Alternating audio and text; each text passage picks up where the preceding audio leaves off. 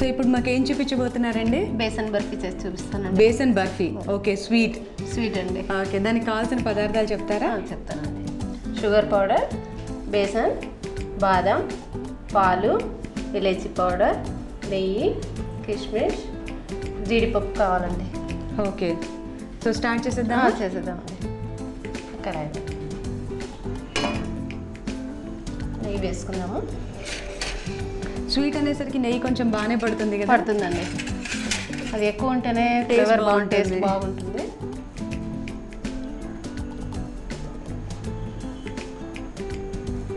Besan బర్ఫీకి quantity ఉంటుందండి. మనం ఒక కప్పు బేసన్ తీసుకుంటే ఒక కప్పు షుగర్ పౌడర్ తీసుకోవాలి. ఓకే ఈక్వల్గా ఉండాలి. ఈక్వల్గా ఉండాలి. ఓకే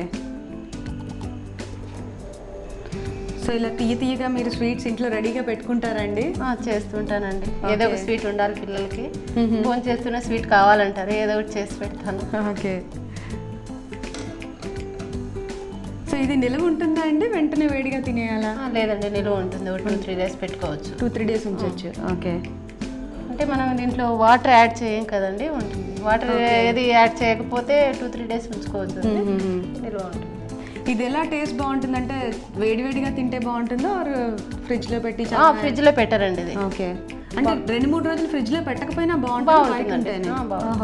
ఓకే ఇప్పుడు నెయ్యి కాగింది కదా నెక్స్ట్ ఏం చేయాలండి? బేసన్ వేసుకుందామండి. ఓకే ఒక కప్పు ఒక కప్పు. దీన్ని సిమ్లో పెట్టి ఫ్రై చేసుకోవాలి. ఎక్కువ మంట మీద పెడితే దీని కలర్ రెడ్ కలర్ వచ్చేస్తుంది ఎల్లో కలర్ కాకుండా. వాసన కూడా మారిపోతుంది? మారిపోతుంది. సో శనగపిండి కాబట్టి మనం వేసి నెయ్యి అంతా వెంటనే పీల్చేసుకుంటుంది. చేసుకుంటుందండి స్లో మంట మీద ఇలాగే ఉండాలి. మారిపోతుంది శనగపిండి టేస్ట్ బాగుంటుంది. దాంతో స్వీట్ అనేసరికి ఇంకా బాగుంటుంది.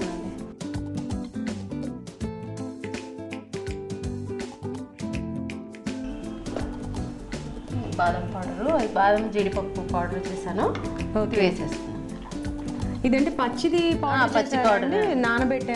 అలా లేదు కదా? ఓకే. డ్రైగా ఉన్నప్పుడే పౌడర్ చేస్తాను ఎంత క్వాంటిటీ తీసుకున్నారని హాఫ్ వేస్తే ఎక్కువ ఉంటే ఎక్కువ వేసుకోవచ్చు. ఓకే ఎంత అయితే అంత టేస్ట్ బాగుంటుంది. బాగుంటుంది.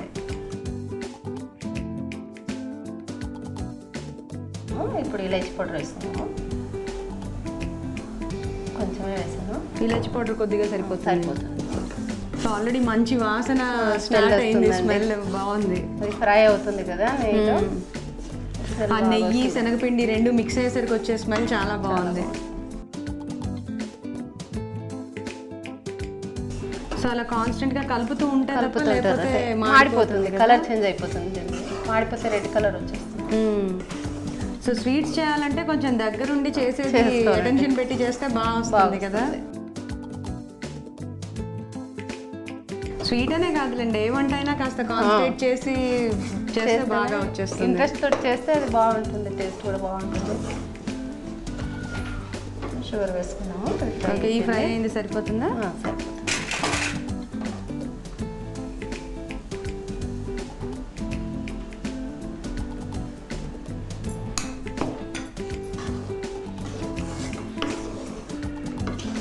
షుగర్ మొత్తం ఒకసారి యాడ్ చేయట్లేదండి? మొత్తం ఒకేసారి చేసేస్తే ఉండల్లాగా అయిపోతుంది. ఓకే. సో కలిసిన తర్వాత మెల్లిమెల్లిగా యాడ్ చేసుకుంటున్నారా?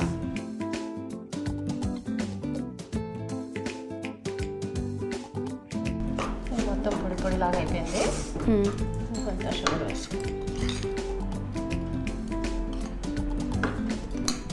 తక్కువ కావాలన్న వాళ్ళు తక్కువ వేసుకోవచ్చు షుగర్ ఎక్కువ కావాలంటే ఎక్కువ క్వాంటిటీ కూడా వేసుకోవచ్చు. ఓకే తీపి కరెక్ట్గా ఉండాలంటే రెండు ఈక్వల్ తీసుకుంటే బాగుంటుంది. కదా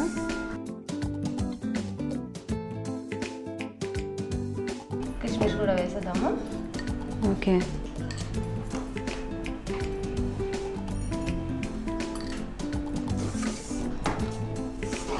దీన్ని ఫ్రై చేయకూడదండి కిస్మిస్ని అలాగే వేసేస్తే బాగుంటుంది. ముందుగా ఫ్రై చేసుకోలేదు కదా.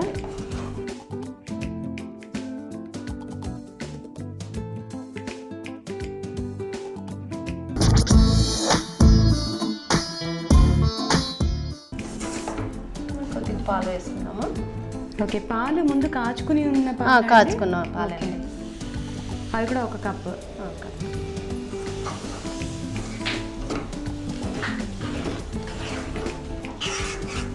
సో పాలు పాలు పోయగానే ఉండలు అయిపోదా అండి ఆ, కాదండి. ముందే మనం ముందే బాగా ఫ్రై అయిపోతే పచ్చిగా ఉంటే మాత్రం ఉండలు. ఉండలు కట్టేస్తాం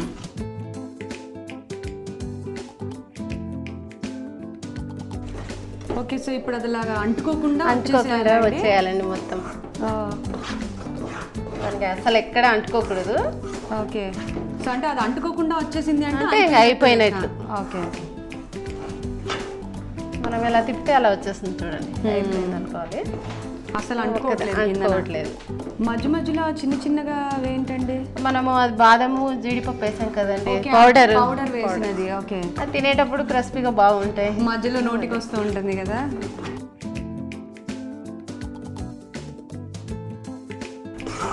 ఓకే అసలు అంటుకోవట్లేదు ఇప్పుడు అయిపోయింది. స్టవ్ ఆఫ్ చేసేద్దాము. హ్మ్. నెయ్యి ఉంది కదండి ప్లేట్లో కొంచెం రాసుకుందాం. ఓకే.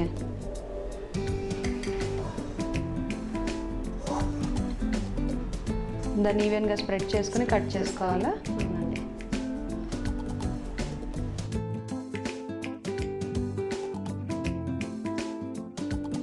దీన్ని స్లైస్ లాగా కట్ చేసేస్తున్నాము ఓకే. కొద్దిగా వేడిగా ఉండగానే కట్ కట్ చేసుకుంటే చేసుకుంటే ఆరిపోతే మళ్ళీ పీసెస్ రావు కదా. ఓకే. ఇది ఆరాలి. ఫైవ్ టెన్ మినిట్స్ పడుతుంది ఇది ఆరడానికి. ఆరిపోతే గట్టిగా బాగా వచ్చేస్తుంది. బరికిలాగా ఓకే. ఓకే కొద్దిగా సో తినేందుకు కూడా ఒక ఫైవ్ టెన్ మినిట్స్ తర్వాత తర్వాత అయితే బాగుంటుందండి. సో వేడి మీద ఏమైనా జీడిపప్పు పెడతారా? లేదండి. పీసులు కట్ చేసిన తర్వాత జీడిపప్పు. ఓకే తర్వాత దాని మీద నొక్కుతారు. అప్పుడు దిగుతుందా? దిగుతుందండి. చల్లారిపోయింది. ఇప్పుడు జీడిపప్పు తోటి కూడా గార్నిష్ చేసేద్దాము. ఓకే. జీడిపప్పు తోటి దీన్ని గార్నిష్ చేసేసానండి. ఓకే. బేసన్ బర్ఫీ రెడీ అయిపోయింది. మీరు టేస్ట్ చూసి ఎలా ఉందో చెప్పాలి. ఓకే షూర్ తప్పకుండా అండి. నేనైతే వెయిటింగ్ ఎప్పుడెప్పుడు టేస్ట్ చూద్దామా అని సో చూసారు కదా వేడి వేడిగా బేసన్ బర్ఫీ టేస్ట్ చేసేందుకు రెడీగా ఉంది. నేను టేస్ట్ చేసి ఎలా ఉందో మీకు చెప్తాను.